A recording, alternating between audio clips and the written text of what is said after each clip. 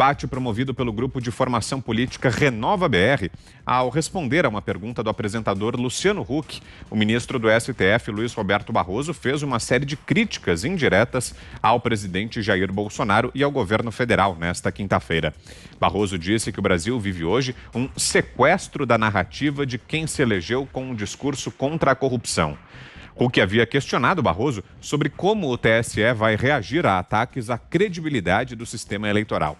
O ministro então respondeu da seguinte forma: Na minha visão, é, há três fenômenos acontecendo que impactam a democracia. Três fenômenos distintos, mas quando eles se juntam, quando eles se acumulam, eles trazem um quadro problemático, que são o populismo, o extremismo conservador e o autoritarismo, que é uma assombração que sempre nos assusta aqui na América Latina, como na África, como na Ásia, como até em alguns países é, da Europa.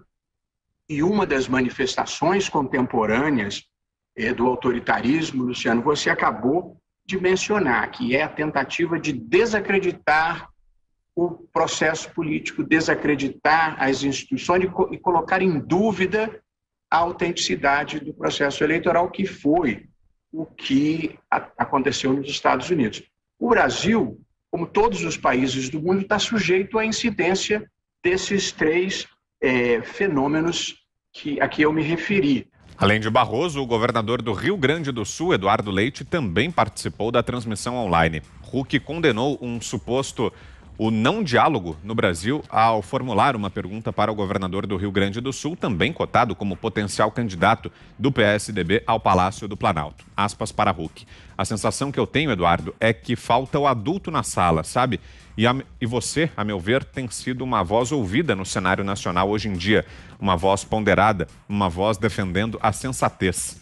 Passados alguns dias da divulgação da carta de governadores criticando o presidente Jair Bolsonaro por postagem com valores remetidos aos estados pelo governo federal em 2020, vem à tona o nome de quem organizou essa ação nos bastidores. Segundo a Veja, partiu do governador do Rio Grande do Sul a ideia de escrever esse texto e foi ele quem cuidou de todo o conteúdo da mensagem. Horas depois da divulgação desse documento, Eduardo Leite disse em entrevista que Bolsonaro está matando os brasileiros na pandemia ao desprezar os cuidados sanitários, provocar confusão e ao não comprar vacinas. Mas... Olha, Vitor, é, bom, falta, falta adulto na sala, né? Realmente não tem adulto nenhum aí nessa sala. Só tem é, proselitismo, né? É, é, um, é um baile, né? É um baile de máscaras sem máscaras, né?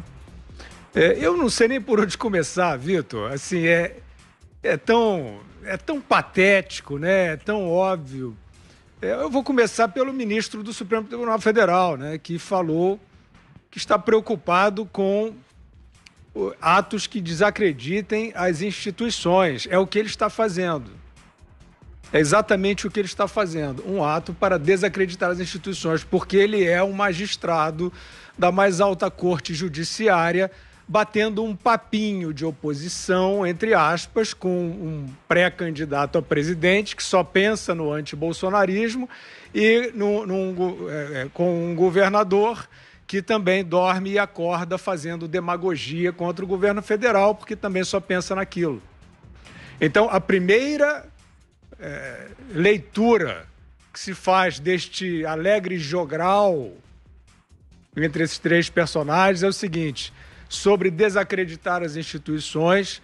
É lastimável e muito preocupante ver um ministro do Supremo Tribunal Federal é, é, panfletando, né, dizendo o que os seus coleguinhas que são anti-governo federal querem ouvir, né, e dizendo o que ele sabe que a imprensa carta marcada, é, é que, que dá voz a esses mesmos personagens, quer ouvir também.